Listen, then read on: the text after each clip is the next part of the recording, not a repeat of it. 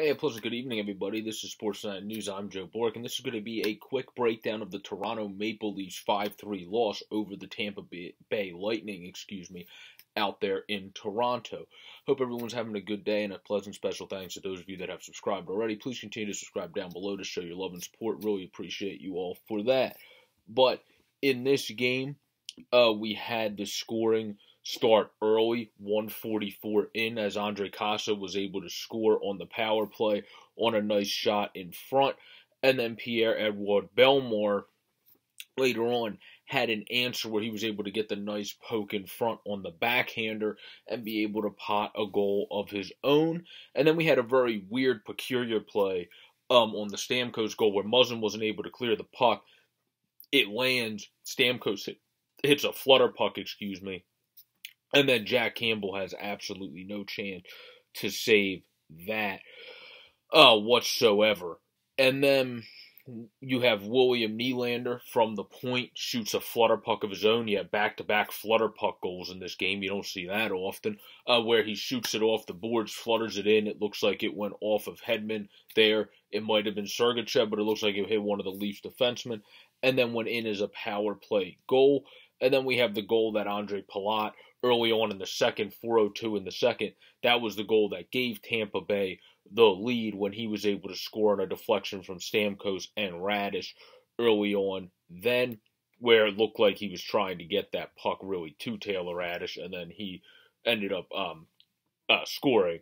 And then Raddysh was able to blast one on an absolutely filthy snapshot at the 9 12 mark of the second period on an absolutely ballistic missile that he sent into the net there that there was absolutely no chance Jack Campbell was saving that. Where Andrei Vasilevskiy won the goaltender battle, um, 38 shots thrown at him to 27 by the Tampa Bay Lightning.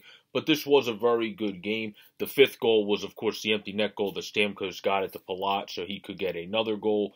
And then the goal before that um, was the goal that Andre Kase was able to score uh, when Jake Muzzin was able to shoot it. It looked like Vasilevskiy had it. I'm pretty sure that everybody on Tampa thought he had it, and then was able to put it in.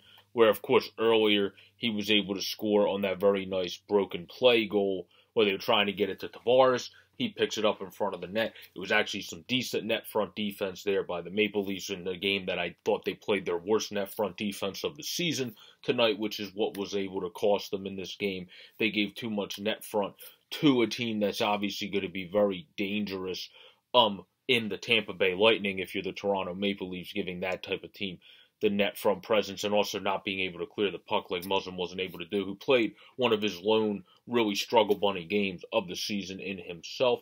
So obviously I would say the star players of this game are Andre Palat for playing an absolutely fantastic game himself, getting two goals, uh, one being an empty netter, another star of this game would definitely be Steven Stamkos. And then another guy, because he was able to get on the assist sheet too on the Palako, I would throw Raddysh in there as well, because he's been playing very well, and he's played terrific um, for them with Palat and Stamkos, getting first line minutes as a 23 year old that was drafted at the 58th pick. I mean, talk about good drafting in Tampa Bay and good development. 58th pick uh, 2016. You got Ross Colton, who moved up to the second line tonight, 118th pick 2016. So really picking well in that 2016 draft.